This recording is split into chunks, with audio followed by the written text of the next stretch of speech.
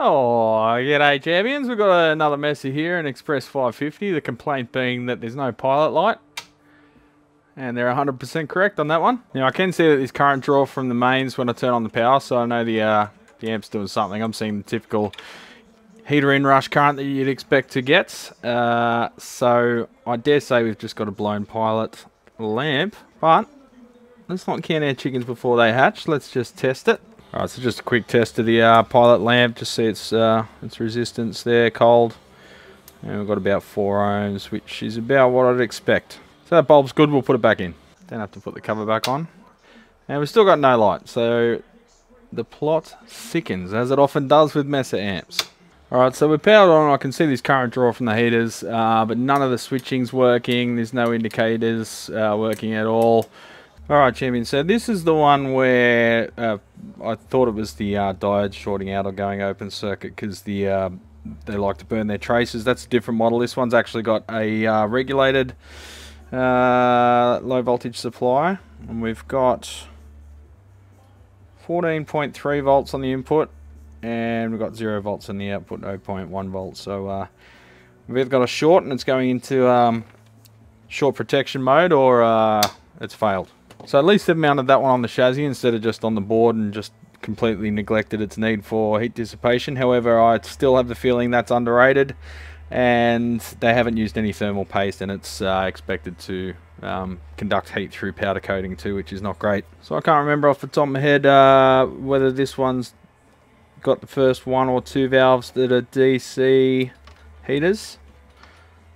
Uh, looks like the first two yeah, first two. The first two valves are running 12 volt mode.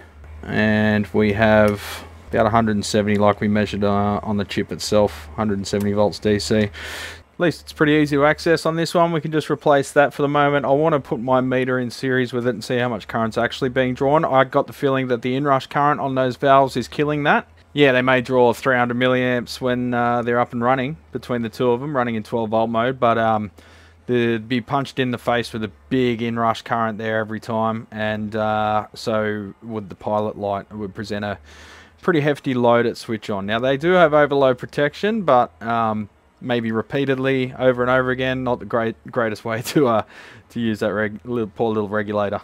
That's an L7812. This is an MC7812. Uh, that one's rated at 1 amp, this one's 1.5 amp. So installing this one will give it half a chance of surviving. Uh, I will, however, monitor the inrush peak uh, before we button this one up, and I will also put some heat uh, sink compound on that on that uh, interface with the chassis there to, to give it a better chance. You can see here that the contact patch hasn't been huge, and it's been uh, trying to go through the powder coat as well. I won't be removing the powder coat, but um, hopefully just a bit of paste will help and the higher current rating as well. Actually, you know what? That's an aluminium chassis. I was thinking it's steel, so we might be able to remove a bit of paint there. And that'll help it uh, interface a bit better. Because you can see down there where the uh, safety ground is that they've put a little sticker on there when they've powder coated it. And um, that's not steel, that's actually alley in there. So we might strip back a bit of that powder coat in that area. That is a pretty thick coat and that'll give it a better chance of uh, dissipating the heat to the aluminium chassis as well.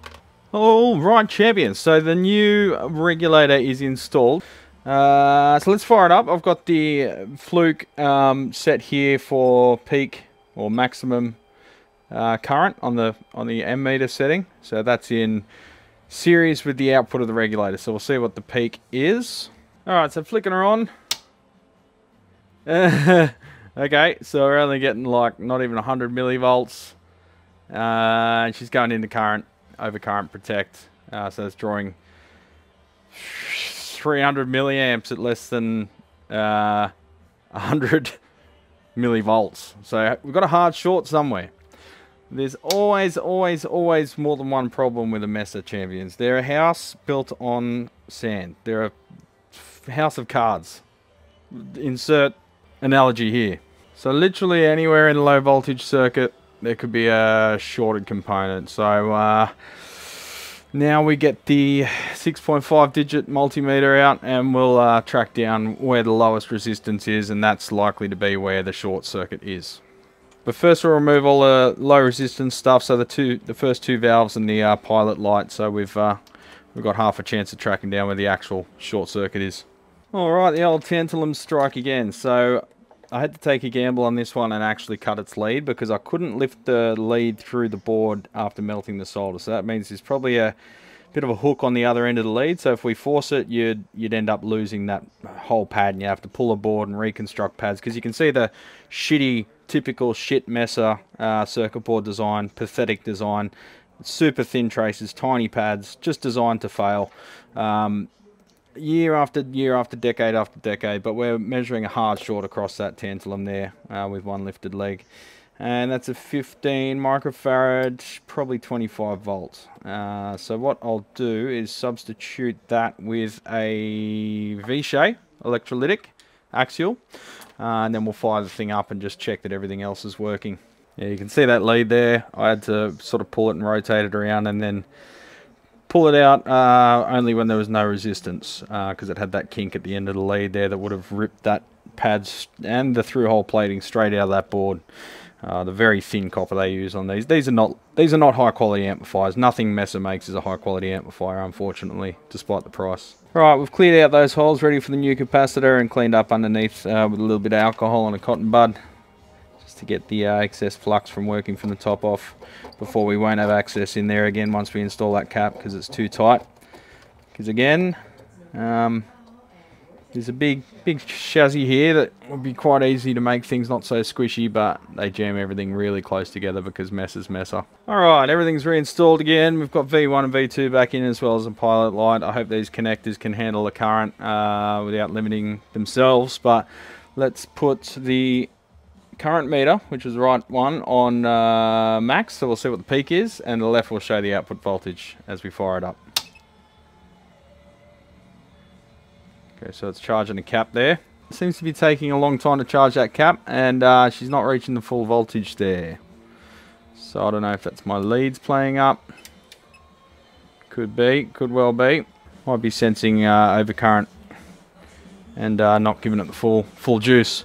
So something's still limiting. Probably just uh, not capable of producing the amount of current that's required of it. Alright, so that's curious. Uh, taking out the uh, pilot light makes it go up to pretty much bang on 12 volts. So um, it doesn't like the pilot light being installed. But we have our channel switching back. And we've got our lights on the front panel back. So that's good.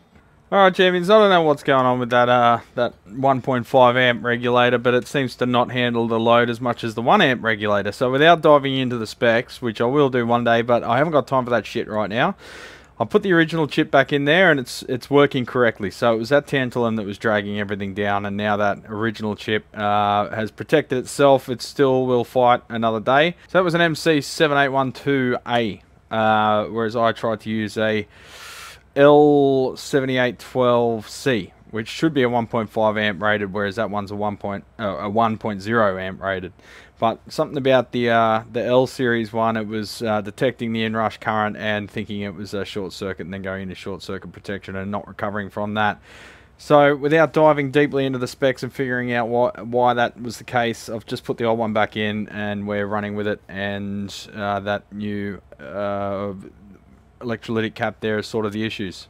So it's back to its boxy sounding self. I'll uh, see if the customer wants to do a full service. Here's some pretty crackly uh, controls there and uh, it seems to be running pretty damn cold. Uh, we're only pulling about 70 watts from the wall there for a pair of 6L6s and all the relays and 5 preamp valves, so you'd expect a little bit more current draw than that, but um, they do uh, notoriously bias these things like it sometimes like 15-20%, which is a bit crazy.